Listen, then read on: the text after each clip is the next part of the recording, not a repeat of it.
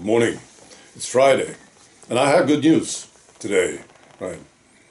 You know, I was thinking about this. You know, all the madness that we see, this is actually a vital part of the awakening. The more mad they get, the more people will wake up.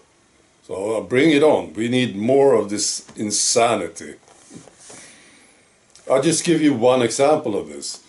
You know how they say, sometimes they say, that if you disagree with the official narrative and you express your views, you are a threat to democracy, right? it's so stupid. It's unbelievable. But they actually say it and they don't stop saying it, do they? They use this sometimes, right? know, and even a quite stupid person, I think, would eventually realize that, hang on a minute, what's going on here? You know, if I disagree, I'm a threat to democracy. If I speak about it, if I agree, it's all fine. If I agree with you, it's fine. If I disagree, I'm a threat to democracy. You know, it's so stupid, of course. So, and the more they do this, of course, the more people will wake up. You know, even the slightly ignorant, maybe. So it's all good. This is what I think. Yeah, the good news is this. Uh, there's a court case in, there are two court cases in London, I think. There's a lawyer, Peter Todd, from Scott Moncrieff and Associates. He's got two cases and 50 more clients, nearly 50, will formally sue AstraZeneca in the coming months. And this is reported by media. I wonder what media thinks about this. It's reported in Reuters. You know?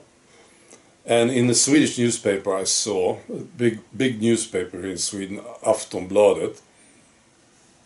I mean, this means that they are probably a threat to democracy, right?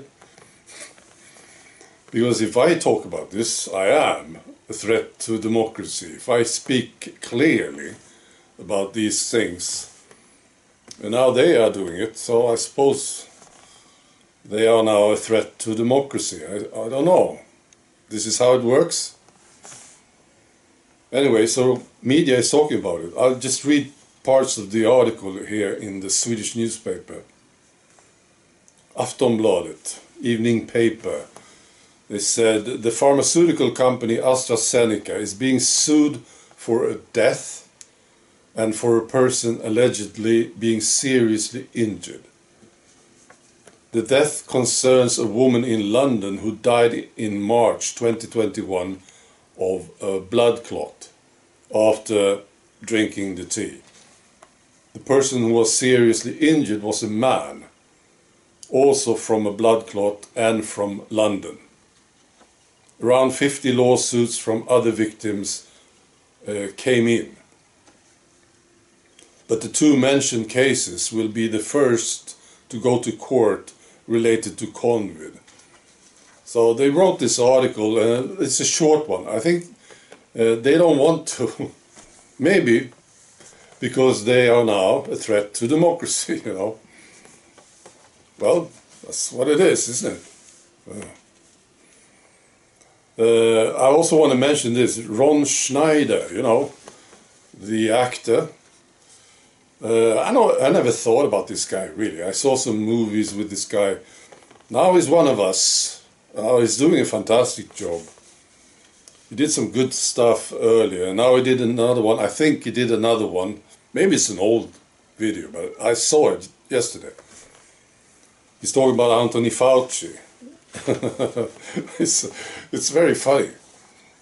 And and the mask, you know Anthony Fauci and the Tooth Fairy. It's very good. I can't describe it. So, but I post a link to this thing with Rob Schneider. I'm so happy to see these people doing things, you know. And he's getting lots, lots of laughs. It's a good sign. Something is really happening. So I'm very happy about this. Uh, finally, this. You know, I talked yesterday about food for purebloods. This project, this project that we are doing here, me and my girlfriend.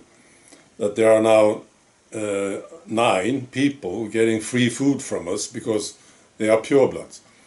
There was a comment, and I have to mention this. It was a comment from somebody said, "I don't get it. Why do you give food only to purebloods? Why not the other ones? Those who took the tea. Why don't you give food to them? They need it too, right? I don't understand. I'm not sure if this was a joke or not. I don't. I'm not sure. Well, it made me laugh. Well, here's the thing. I, I think I want to explain this. You know, this thing with the tea was like a big test for me. You know, because all the people who could stand up against it, they are people that I want to know. See? I'm interested in these people. That's the thing.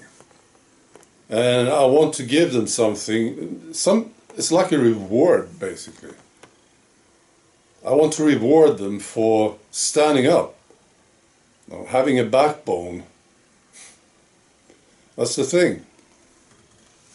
So that's my answer. If it was a serious question. All right. I wish you a great weekend. Be good.